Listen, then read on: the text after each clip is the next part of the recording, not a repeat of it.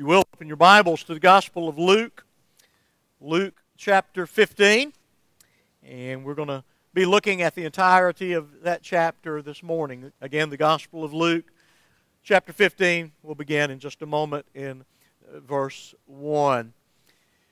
I've made the remark a number of times in our uh, journey uh, through this particular gospel that in it uh, we find Jesus saying some things that, uh, that challenge us, uh, that uh, uh, should even be uh, concerning to us as he sets before those that would make the claim of being desirous of following him, of knowing him, of receiving from him that which he offers, that he puts before them some difficult, unrelenting types of challenges. And so for me, it's been easy over the course of my now nearly 50 year Christian journey to conceive of God as a very stern, very difficult taskmaster whom, as I would approach him in repentance and in faith would look at me and rebuke and reject me, saying that your faith is not genuine enough, your repentance is not sincere enough. Depart from me. I never knew you.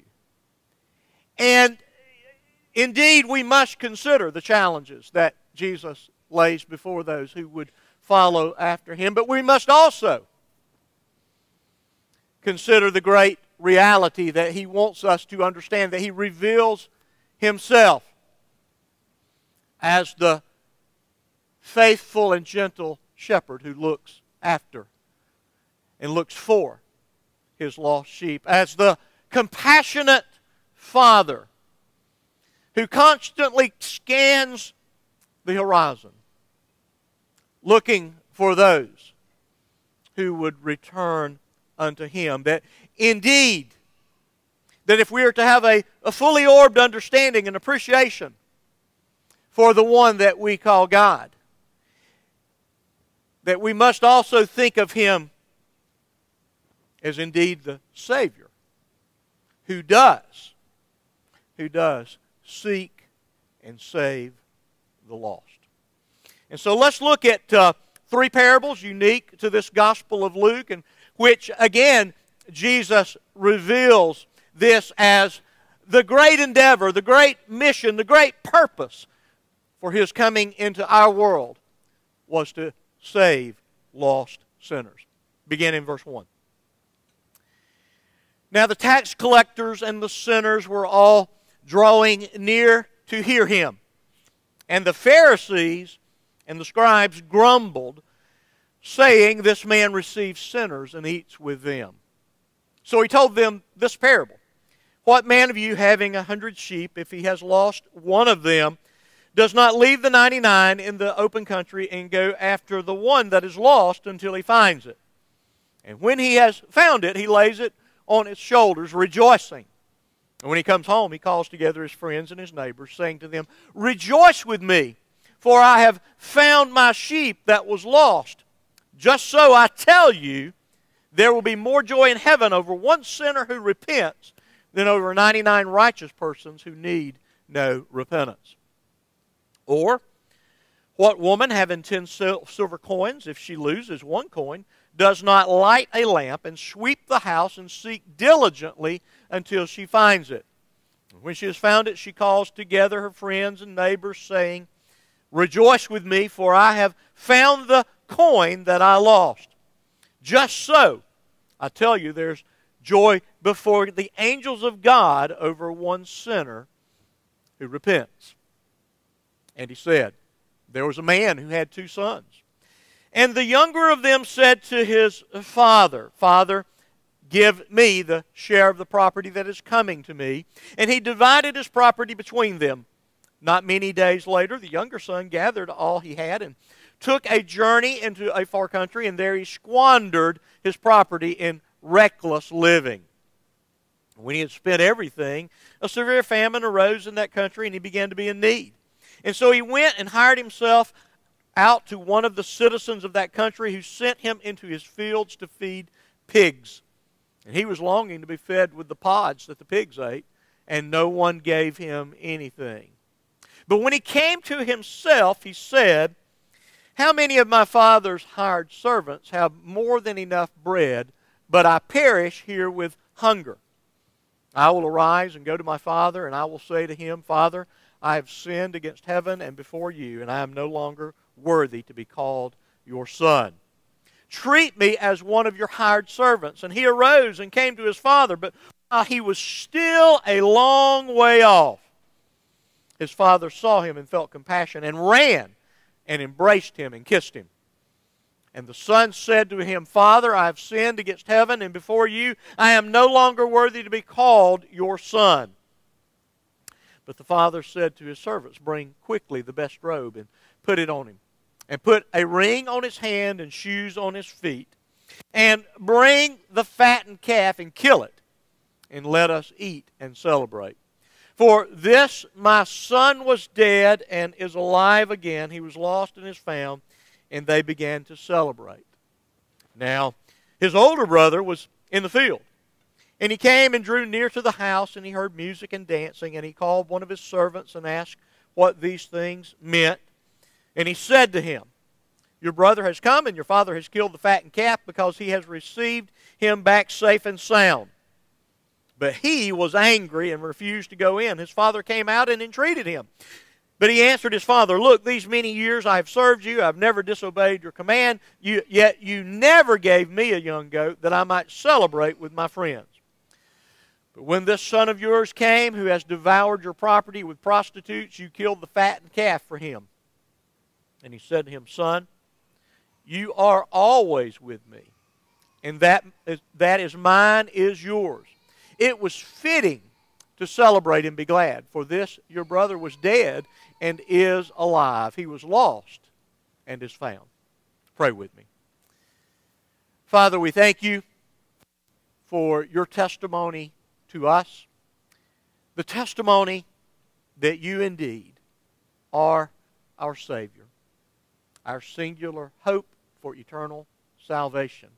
It is to you we look, it is to you we come, thankful that you graciously that you graciously receive all who come to you in repentance and in faith. God, may we rest, may we trust in you. In Jesus' name we pray. Amen.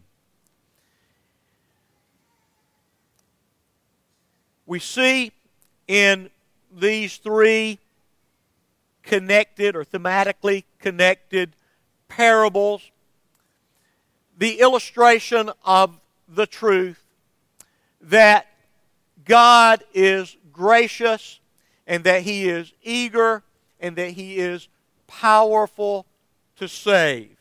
That is, that He, from the first testimony regarding the first rebels there in the Garden of Eden, is the one who comes and seeks after those who have gone astray. If you'll remember in the story of Adam and Eve and in their rebellion against God, that they did not recognize their sin and their nakedness. They, they ran and hid from God, and it was God who came and sought after them. And that God has been doing from that very moment. If man is left to himself, he will never seek after God. Now, he will seek after gods, and he will seek after that which God has, but he will never seek the God of the Bible. But the God of the Bible is the God who rescues and saves. And so we see here in this first parable, and again, we, we know them well, we've heard them since our childhood, the, the parable of the lost sheep. And we see the, the setting for the telling of these stories here first. And I would note that here Luke tells us that there are two types of sinners that accompanied Jesus. There are sinners who knew they were sinners, and there were sinners who did not know they were sinners. And I would submit to you, you need to understand this that the only kind of sinners that God ever saves is those sinners who know that indeed they are sinners and they need a Savior, and that Savior's name is Jesus Christ. That is, for those who think that they are not sinners, then they have no need of a Savior. They have no need of salvation. And so we see in this first group the Pharisees and the scribes who were the religious aristocracy, and they thought because of their moral behavior and their allegiance to the way that they understood God's revelation of law, that they indeed could stand before God with clean hands and pure hearts. And yet, nothing could have been from the truth. And yet, we find those that should have been uh, the most estranged uh, people uh, possible from the Lord Jesus Christ, namely those characterized as tax collectors and sinners, uh, uh, the drunks, the, the immoral, uh, the thieves of the world, they were uh, attracted to this Lord Jesus Christ. They, they, they were drawn by his words. They, they understood that they were not hopeless, that there was, there was the opportunity for this Jesus to say a word to them through which they could be saved. And so they were drawn to them because they knew. And maybe simply the providence of their life, being at the outskirts of society, being, being in a sense, kicked out from polite society. Maybe they felt with the greatest sense of weight their need in a way that the up and ends, the, the, the insiders to the society, the religious leaders, never felt the weight of their own sin. They never felt the reality of being estranged from God. And so, again, they could never understand, they, they could never receive this message of the Lord Jesus Christ. Those who knew they had a problem, those who were spiritually sick and knew it, they were the ones who came and listened with eager ears to the words of the Lord Jesus Christ. And so Jesus tells them these three parables, and while to be sure, there are occasions when Jesus very pointedly speaks to these religious leaders and identifies them as a, a brood of vipers, as the whitewashed tombs, and all of these other niceties that he lays upon them. He can be very blunt and very straightforward. He can also be very subtle and designed for them to understand who they are and how they stand before a holy God. And so in verse 3, we see the, the first part, again, of this very familiar parable, and, and I guess probably all of us, rightly or wrongly, can envision some artwork, again, of the shepherd with the sheep gathered across his neck, returning that sheep to the flock. And so, we are told of a man who owns a hundred sheep. And that one of them, as is the nature of sheep, has wandered off, leaving 99 there with the shepherd. The, the, the overwhelming bulk of the flock is there in the safety, in the care of the shepherd. But when he comes to the understanding, the, to the conclusion that indeed one is missing because of his care and his concern, and he counts every sheep as precious to him, he leaves behind that 99 and he goes out at risk to himself, risk to the flock, at, at, at great uh, expenditure of, of time and, and effort and energy. He goes out into the wilderness to seek after this lost sheep. And we've, we've mentioned many times the whole idea of, of sheep, and, and we certainly understand the prophet Isaiah says that of us, what? We are all like sheep we have gone astray. Please never understand when the Bible refers to you as a, a sheep, it is not saying that you're cute and cuddly and fuzzy and just, you know, just God wants to embrace you and, you know, let you nuzzle his neck. He is saying that you are so obstinate and so misguided that if he did not constantly tend to you, you would wander off and you would destroy yourself. And that is what a sheep does. They have no ability once they are separated from the shepherd, once they are separated from his uh, overwatch, from his caregiving, they have no ability to defend or tend for themselves. And so they are at the mercy of the elements, and it is only the compassionate and dutiful shepherd that can be their Savior. And so Jesus wants us to understand that indeed He is that good shepherd that has entered this realm to go and seek and to save those who are lost, those who are estranged. And so he explains kind of the upshot of his story, of his parable. He finds the sheep, he brings that sheep home, he carries it back on his shoulders.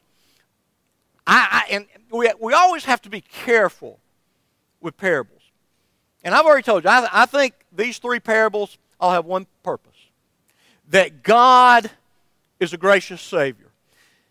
They're not designed to press to the nth degree every detail, every aspect. The parables are told to, to mainly drive home one peculiar point.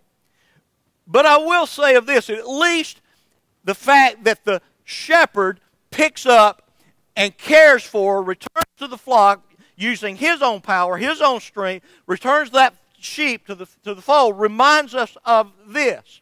It is God who rescues, who saves. He is the one that provides the power for us to be included back into the flock. It is, the, it is not that we come to the flock in our own power and say, Oh boy, I'm back. Let me rejoin. It is God in His Son Jesus Christ who puts us upon His shoulders and takes us back to the flock. And so the shepherd goes and, and seeks and finds, and when he finds him, you don't see, you stupid sheep. I ought to kick your, I ought to, I ought to just, I ought to just slit your throat right here and roast you over a fire. I'm so tired of fooling with you. All right? But he rejoices. He, re, he rejoices and it, he announces the fact I have at great cost to myself. I have gone out and I have found this sheep that was lost. And I am exuberant over this, and I want everyone to share in my joy. And Jesus looks at those gathered around. And I think with piercing eyes, particularly at those that thought of themselves as right with God, these religious leaders. Just so I tell you, there will be more joy in heaven over one sinner who repents.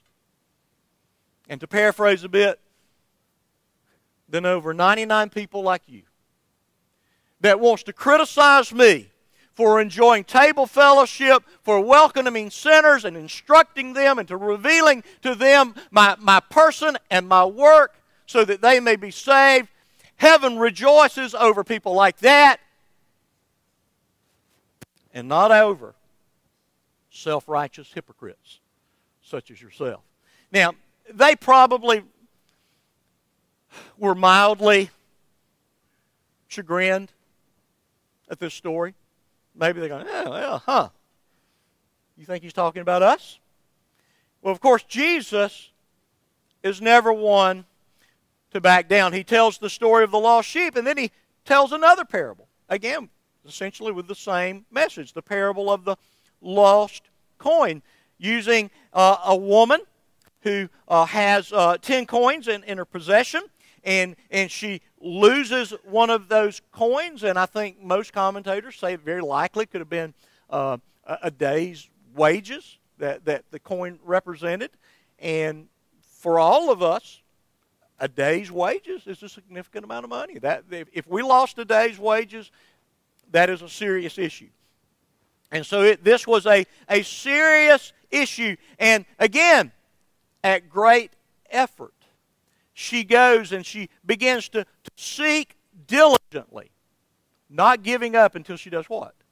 Until she finds that lost coin. And again, instead of you know looking at the coin and going, stupid coin, throwing it out in the woods, saying, "Yeah, I won't be bothered with you anymore."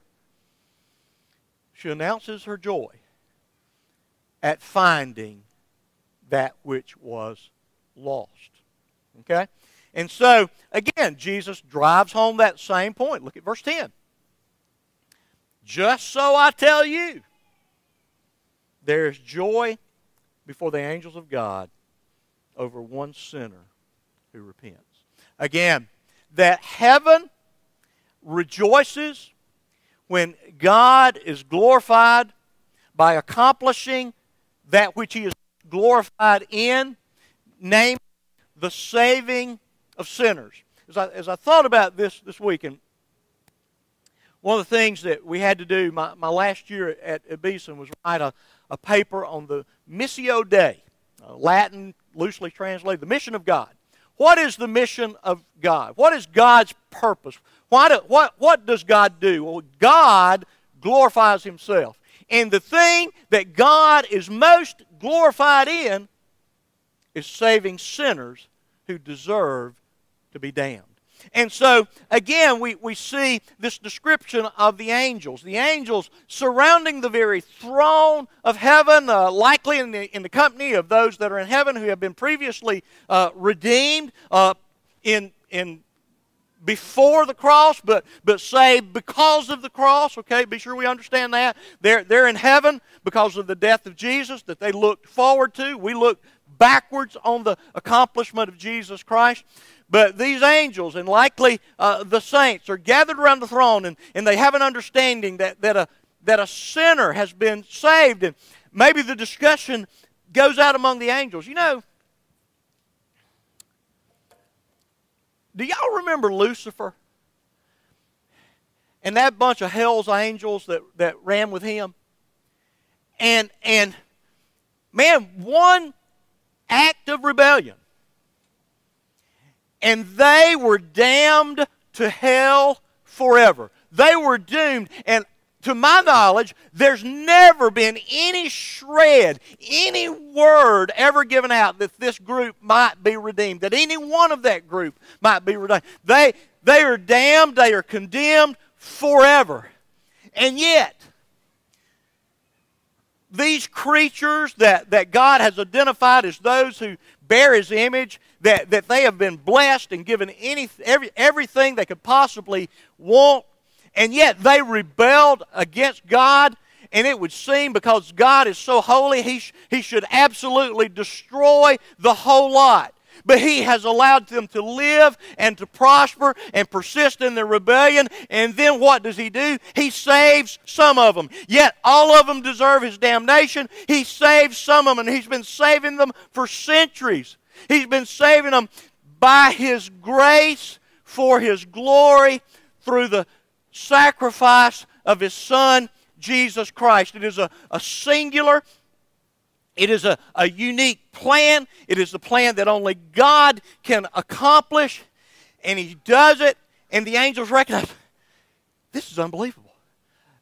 I, I, I, could have never imagined God would do something like that. He is displaying grace and mercy and love that we could have never fathomed. We knew He was glorious. We, we have been with Him for eon upon eon, and we knew that we saw Him cast those stars, those billions and billions of stars out in the sky. There's so many there, uh, you, you can't even count them. And, and, and wow. Oh my goodness, these people that, that deserve to be damned. He's saving them. He is forgiving their sins, and He's not compromising anything related to His holiness. He, he is maintaining His integrity, His justice, His goodness, and He's saving sinners. He's doing it unilaterally for His own purpose and for His own glory. And they rejoice and they celebrate. And again, I keep reminding you, why do we why do we come together on Sunday? It's at least partially for the purpose of celebrating before God, saying we want to be with the angels and we want to have the perspective of the angels. We want to rejoice not only that you save sinners, that you go out into the wilderness and that you rescue lost sheep, you save a sinner like me. You saved a rebel like me. I never would have done it. I never could have done it. I never wanted to do it. And you saved me. And we want to rejoice. We just want to say thank you Jesus. Thank you, Father. Thank you, Spirit, for all that you've done from eternity past, looking forward to eternity future, in saving us. And so, he tells, Jesus tells them then a, a third parable. I guess the, the more well known of the three parables, and we often refer to it as the, the prodigal son. I've, I've kind of just labeled it uh, the, the lost son, sons, okay? because the, I think in reality, well, it does tell us a great deal about the graciousness of our heavenly, Father and his, his will and His desire and His ability to save.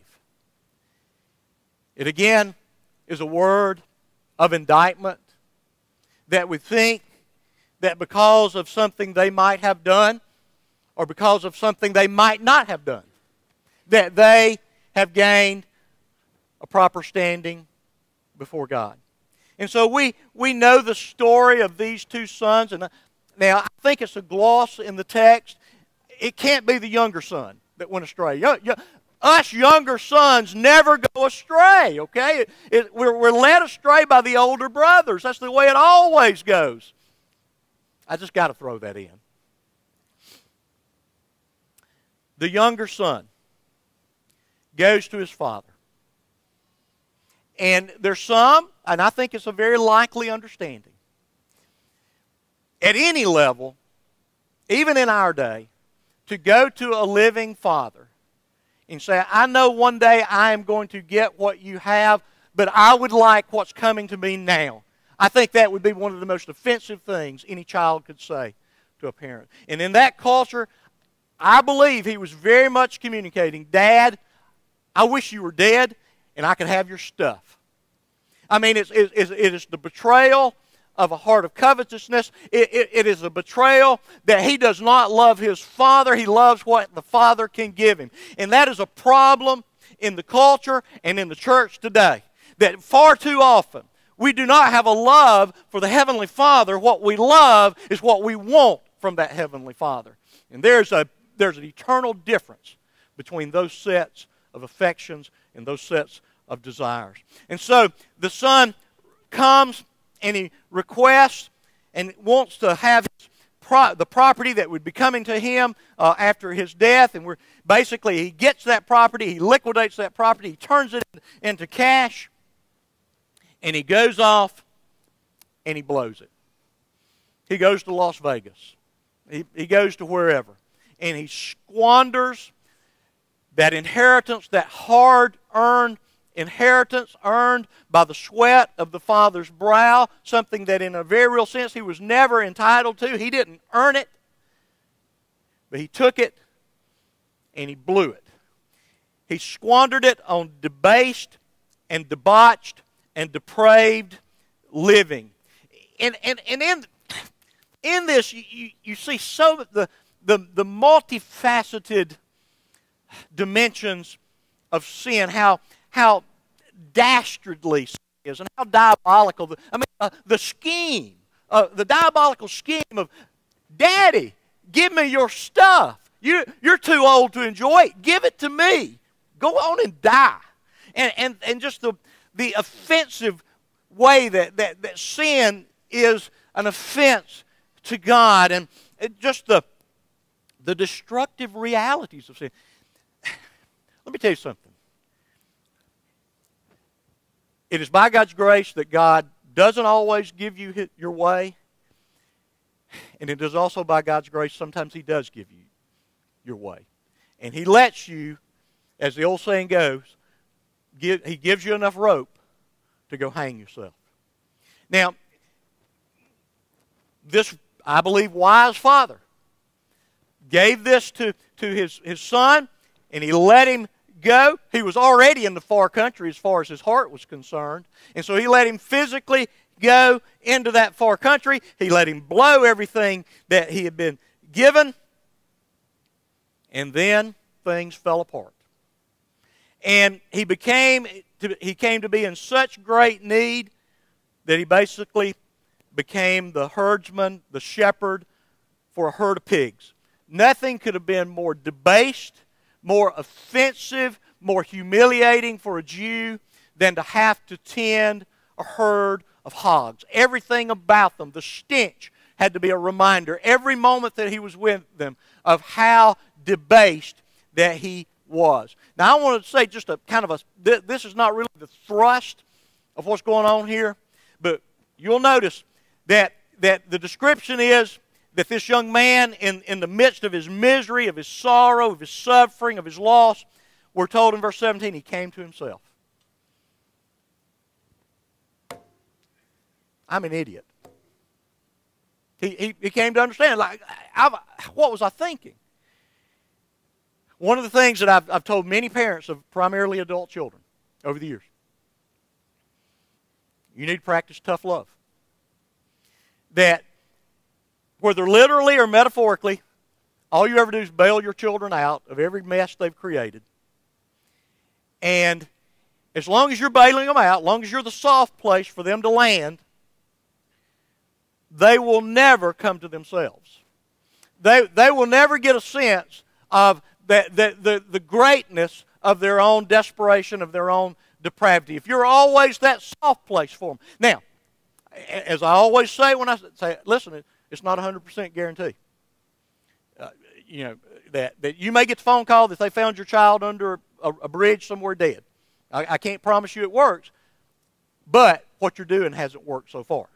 So again, that that that this young man experienced enough pain in life that God used it providentially to come, in a sense, to his senses. Now, commentators debate, and as I said, I think you can just be too stringent and, and over exegete, but it's certainly not an illustration that we become wise enough and smart enough to say, you know, the best way of life is to be a Christian. Okay? That is not what is being illustrated here. Something about his memory of his kind and gracious father was instructive to, to him that he realized that there was something far better and that if he would humble himself, he could go back to that father and at least live in a way that was far superior than what he was experiencing in his debasement and his debauchery. And so he determines to return to the Father. He has confession all planned out that, that he is going to humble himself uh, before uh, that, that Father. And so he finally he gets up and verse 20, he goes back. And I think this verse 20 is the key to the, or verse 21. He comes, he goes, he starts his confession, but there in verse 22, but the father said, Bring quickly the best robe. He had been looking on the horizon. He sees something. He sees maybe a shadow. And just by the way he walks, he goes, Wait a minute. There's something familiar about what I see on the horizon. I recognize the tilt of his head. I recognize the way that he's walking. That is my son. Well, I tell you what, I'm going to go hide. I'm going to go back here, and you tell him that if he wants to see me, he better he better come back and make reparations. He better he better pay me back what he took from me. He he better have his act all cleaned up, and there better not be any scars in his life that's going to be an embarrassment to me. No. This gracious father runs to that rebellious son, embraces him, and instead of hearing his confession about how he has been wrong, he begins to instruct those around him to bring the best robe and put it on him. Again, reminding me, the believer, when we are saved, when, we're, when we trust Jesus Christ, we are clothed in the righteousness of the Lord Jesus Christ. This man is saying, You are back in the family. You are my son. Because of what he had did or, or done? No. Because of the graciousness, of, because of the nature, the character, the will of that father, his willingness to reconcile, to restore, to rescue this young man. He comes and puts that robe around him and put, puts shoes on his feet, which only sons wore shoes in that, in that ancient world. The servants didn't wear shoes. The sons wore shoes, and then what? And I can imagine this that he probably had a, a ring that was something of a family heirloom or something of a signet of the family. And probably somewhere along his path into debauchery, he probably took it to the pawn shop and hocked it. And in, in doing that, it's like, I, I disclaim everything that connects me with that father of mine. I want nothing to do. In doing that, his, his debasement, in a sense, was complete. And the father says, Why? I notice you don't have the ring. I'm going to put the ring back on your finger. You are now restored to me. And because you are restored to me, and because of my initiative and my will and my mercy and my love and my character, you are going to be reconciled to me, and we're going to rejoice. We're going to celebrate that this son of mine, that though he was dead, he has now been made alive. He has come back to me, and it is time to celebrate because of what? The mercy, the will, the authority of the Father. Again, representing what? That will of the Heavenly Father, that desire to save all, no matter how scarred, no matter how marred they are, all who come to Him, He receives and restores. But the story doesn't end there. There's a bit of an epilogue there. Verse 25 The older son he has remained steadfast to the Father, at least externally. He starts coming home, I guess, in the evening, at the end of the day. He hears of the merriment going on. He begins to inquire as to what's going on. It's announced to him that your brother has returned.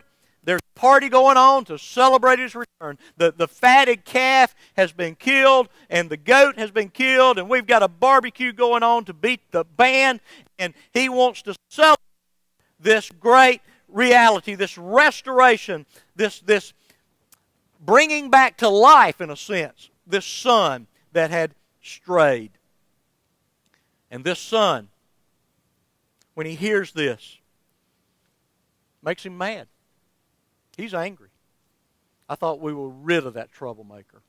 I had put up with him for all these years. He was always messing things up. He was always upset. He was always mad. Every family dinner, he made a show. Every family dinner, he made everybody uncomfortable. Every family dinner, he made everybody miserable. I am so I'm glad he was gone.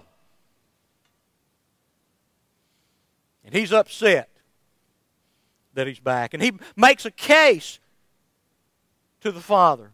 And again, I believe that Jesus wants to make the case to these religious leaders. Okay? Verse 29. Look, these years I have served you, and notice these words I have never disobeyed your command. Now, who can say of anybody, anywhere, at any time, my obedience has always been perfect. That, that is an impossible claim.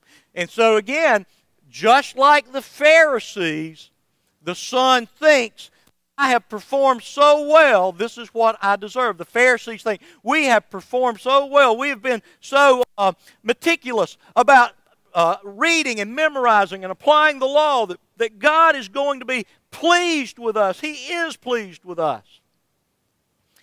And so I've been the perfect son. This rebel has been an embarrassment to the family. And because I've stayed, you've never celebrated the fact that I have stayed. And, and this, this, this, this brother of mine, he's gone out and he's embarrassed the family name, and now you're celebrating his return. And so the father explains the situation to him. There in verse 31. Son, you're always with me. And all that is mine is, is yours. You're, you're, you're still my son. But it is the right thing to celebrate that this brother who was estranged, he, he was as good as dead. He is now alive. He is now restored. He was lost, and now he's found. And that is a reason to celebrate. And so, again, Jesus tells the story. Why? To illustrate you religious leaders, you're objecting when that erring brother goes astray, when that, that, that tax collector, when that prostitute, when, when they come to feel the misery and the weight of their sin and they go returning to the Heavenly Father, the Heavenly Father is glad to receive them back and welcome and reconcile and restore. And yet, you, you religious leaders, you indict me for my kindness, for my willingness. And it is you, as Paul would later rely, that you do not realize that it's God's very kindness, it is God's goodness, it's God's mercy that has led, continues to lead you into repentance. You fail, you fail to realize that, that the, the mercy of God that's necessary even to save the good folks. How many times have I told you? In repentance. Yes, indeed. We need to repent of the activities and the attitudes associated with the far country, to be sure. But there's many of us that have never been to the far country. Oh, we've been in the near country. We've been in the quote unquote the Father's house the whole time. But how we need to repent of the attitude that, that I've been here the whole time and I've been doing everything. I have never shamed the family name. I have always obeyed. Again, we are just as much in need of repentance as the prostitutes, the tax collectors, perverts, the abortionists, you name it, just as much in need. And so, again, we should celebrate, we should rejoice that we have a Savior who, by in his own very nature, in his own very character, in his own purpose, even in creation, was that he would be a redeemer. That he would be known as one who would seek and save the lost and could and does seek and save that which is lost. And again, we rejoice in that. The angels rejoice in that. And my encouragement is always that we enter into, that we experience that joy as we gather together that God has been and will be until the day Christ returns. He will always be as that, that, that earthly father looking to the horizon, waiting and willing to save all who will come.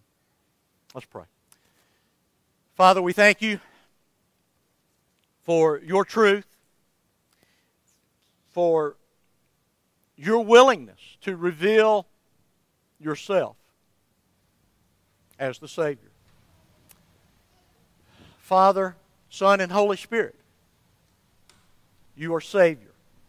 We are thankful that a loving Heavenly Father sent His beloved Son into our world to do everything that was ever needed, to accomplish everything that was needed for our salvation. He did that which was commanded, and then He died on the cross as a substitute and a sacrifice for our sins. And then the Holy Spirit comes and works as we hear the truth of a saving gospel, of a Savior who saves. He so works in us that He causes us to believe.